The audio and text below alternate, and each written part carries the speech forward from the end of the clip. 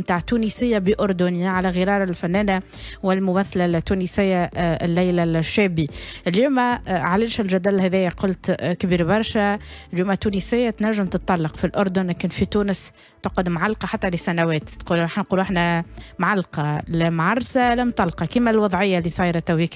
باش نحكيو قانونيا في المسألة هذايا لأنه الزواج التونسيات بالأجانب خاصة من عدد من الدول العربية ولا كبير شوية ومرتفع شوية الفترة هذيا هتنحكيو على الإجراءات القانونية وشنو اللي ينجموا يتيحوا فيه اليوم من ثغرات في القانون. كل التفاصيل. له تسمعوا نفيس في قصة على الفريكونس.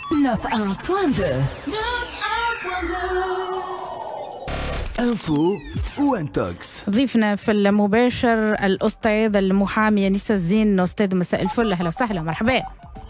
مساء النور مرحبا بك ومرحبا بمستمعي إذاعة ديوان فهم شكرا يفضلك مرحبا بك. أستاذ جدل كبير الحقيقة في تونس الأيامات هذيا بين مساند بين مدافع بين مش ندخلوا أكيد في التفاصيل الاجتماعية والعلاقات الخاصة وما حدث في هذه العلاقة بالتحديد.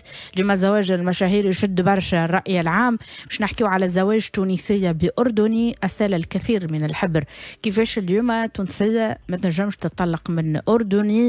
ووصلت إلى درجة إنه تسافر له الأردن مش تطلب منه يجي يطلقها في في تونس. شنو هو البياج معناتها اللي نجموا نطيحوا فيهم؟ أستاذ قياسا على القضية هذه ولا قياسا حتى قبلها على قضية الممثله آه، آه، آه، شابي اللي قعدت تقريبا 23 سنة. ليلى شابي فوالا. قعدت 23 سنة ما نجمش تاخذ الطلاق نتاعها من زوجها الأردني. حبيت نقول أنه معناها الإشكاليات هذه صحيح معناها إشكاليات مهمة ويلزم واحد يتطرق لها باش الناس تعرف معناها في الزواج وقت اللي يتزوجوا بأجنبي. bon heureusement اللي معناها التيك توك جاب لنا معناها حاجة باهيه خاطر النقاش هذا باش يهم معناها المواطنين التوانسه الكل تقريبا.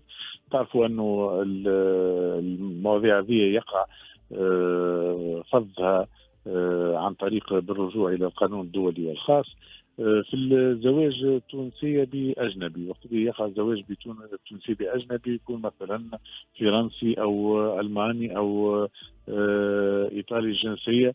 ما فماش إشكالية كبيرة في الإشكاليات اللي اللي تترتب على الزواج. نظرا لكونه مثلا الطلاق وكذلك النفقة وكذلك لأنه نحكي على نفس تقريبا القانون الوضعي. لكن وقت يكون ثم زواج مع من هو تونسية بشخص آه، عربي من دولة عربية إسلامية بالأساس ويكون الزواج على الصيغ التشريع الإسلامية مثلا أو تشريع أخرى مش التشريع الوضعية المتعارف عليها. تعرفوا فما إشكاليات كما إشكالية تحكوا فيها أنتم مثلا إذا كان هذه المشهورة هذه زوجت بفرنسا تيك توكوز تيك توكوز مثلا كانت بمجرد في محكمة تونس بمجرد إذن على عريضة في معناه يصير ثلاث مثلا في فرنسا تجيب بمجرد إذن على العريضة فما معناه معاهدات دولية ما بين الدولتين بيلاترال دي كونفنسيون بيلاترال وتمشي المحكمة ويقوم المحكمة بإكساء هذا القرار بالصبغة القانونية التونسية.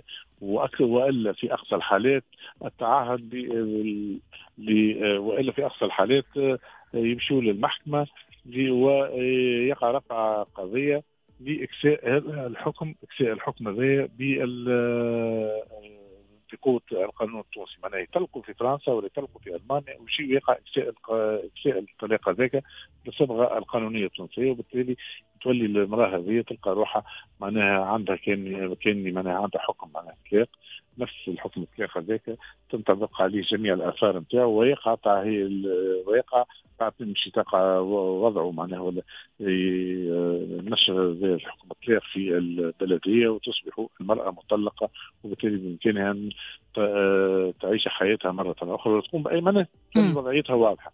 لكن هنا وقت اللي تعرس كما من الزواج بعربي كما توا اللي نحكيو عليها آه، ضحى في بالي هكا ضحى العريبي والتي تزوجت بأردني ومشى هو طلقها غيابي هي تقول. هو شنو معناه هما معناه الزوج ما تعرفوا معناه في في التشريع التشريع الجاري بها العمل في الاردن معناه يطلق زوجته من غير ما في علمها معناه هي قاعدة على روحها يبعث لها طلقتها كما كما صار معها هي هي في تونس بعث لها ورقه هاي في في تونس قبل مازالت آه، الأحوال الشخصية قبل 57 وكذلك في الدول العربية الان شفناها معناها المشاكل هذه اللي مازالت موجودة في آه، ولا أكثر من 80% من الدول العربية الإسلامية اللي الزوج نجم يطلق زوجته باهي. المشكل لنا أن الزوجة هذه المرأة هذه اللي هي توا زوجها مطلق بامكانه ان يعيش حياته وهي تجد نفسها من عندها مضمون في مضمونها تجد نفسها متزوجة لأنها صار زواج في بالي حسب ما ثبت أني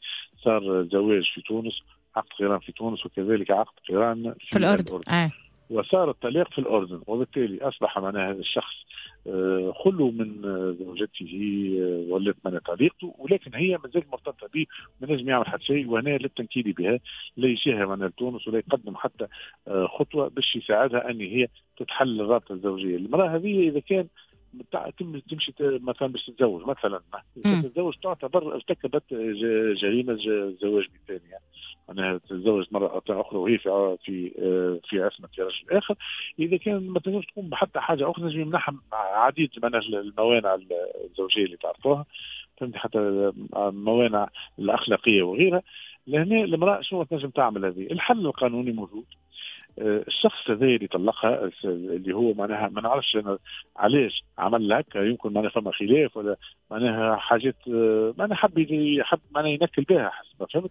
هذه تمشي هي عن طريق تتصل بمحامي من الأردن وعندنا راهو محامين معناها أكفاء من الأردن نعرفوهم إحنا حتى في لقاءات في مع المحامين العرب معناها فما معناها بالحق آه، ناس المحاماة مرموقة وسيتها ضايع تمشي تتصل بمحامي. ما دام عندهم هذوما تيك توك عندهم الفلوس تتصل بمحامي في الأردن. المحامي هذا يمشي يتحصل على نسخة من حكم الطلاق الطلاق اللي صار في الأردن اللي قام به الزوج باش تتمتع به هي.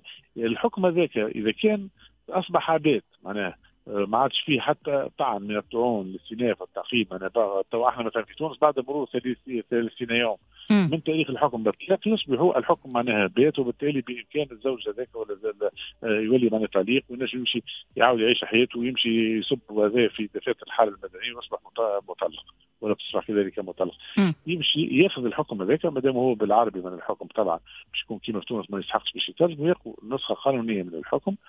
ونسخة تفيد كون الحكم هذا أصبح بيت ويجيبوه لتونس وتمشي تعمل قضية في الدائرة الشخصية قضية في إكساء الحكم الصادر في في الأردن بالقانون التونسي وتنتصب المحكمة وتصدر حكمها ويصبح الحكم حكم الطلاق الصادر في الأردن كأنه شاملها هي وتولي هي ما تولي في حل من الرابطة الزوجية قياسا على هذا الموضوع أستاذ لأنه التراند ولا الموضوع هذايا معناتها وعملية الزواج بأجنبي وخاصة عربي ولات لموضة الأيام هذايا معناتها عند آه، كيفاش شنو شنو تنصح معناتها اليوم المقبل مقبلات على الزواج بأجنبي عربي آه، تونسية معناتها كي تتزوج. لأنه فما اليوم شكون يقول لك يا سيدي تزوج بالقانون التونسي وامشي غادي رسم العقد نتاع الزواج هذايا في الدولة هذيك.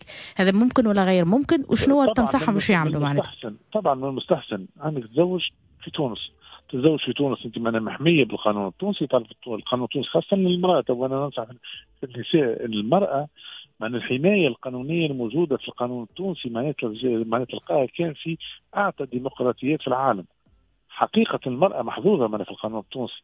معناها محظوظة لدرجة أنه معناها الراجل يغير منه يغير منه معناها قانون الأحوال الشخصية لجنه الأحوال الشخصية وبورقيبة معناها آه الله يرحمه معناها الزعيم الحبيب بورقيبة أعطاه عديد من الحقوق للمرأة اللي اليوم ما معناها ما لقيناش معناها كيف في الدول العربية. تزوج هنا وتمشي على روحها معناها لبرا كملت الحياة كملت الحياة تلقوا تلقوا على رواحهم.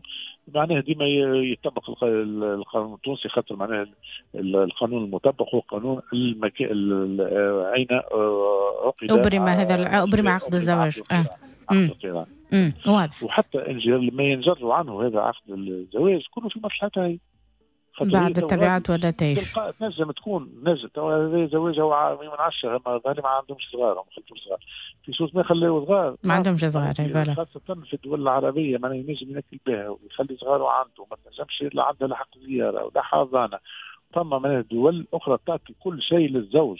وخاصة كي تبدأ معناها أجنبية ويتعاملوا معهم بالطريقة هذه. أنا مش مش نقول معناها جميعهم. ثم بعدين الدول العربية تو قاعدة تسعى أن هي تلحق على الركب. الركب اللي إحنا بديناه في آه، 57 هما تو فما فما آه، دول أخرى تو معناها بدات باش تحاول تلحق على الركب وبالتالي معناها نرى المرأة يا تاخذ تونسي. إذا كان تاخذ أجنبي وفما علاقة نتاع حب ولا مهما كانت علاقة زواج كانش تفضل اكتب الصداق في تونس. لأنه كي تكتب الصداق برا لازم تحط في عينيك وتحط في حسابك أنك أنت تنجم معناها بعد تخرج من المولد برب الحمص كما نقول المصري.